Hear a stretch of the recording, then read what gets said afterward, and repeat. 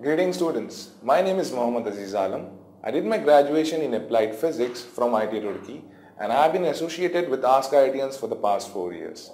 In this video lecture, we will learn about current electricity. Now in current electricity, we will learn about what exactly is current electricity and what are the different parameters which affect current electricity. That is both internal and external to the conductor which carries current electricity. Then moving on to the next part of the current electricity, we will learn about one of the most important circuit elements that is resistance. Again in this particular head, we will learn about the factors affecting resistance both external and internal to it. Then moving on, we will learn about the power sources which drives the current in the circuit. Then in the later half of that topic, we will learn about the combinations which are available with the cells and the resistance.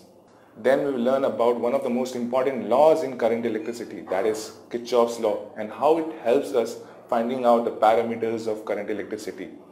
We will also learn about the famous circuits which are available that is Wheatstone bridge and its application that is meter bridge and potentiometer. Then in the last part we will learn about the electrical energy, electrical power and the domestic household circuits.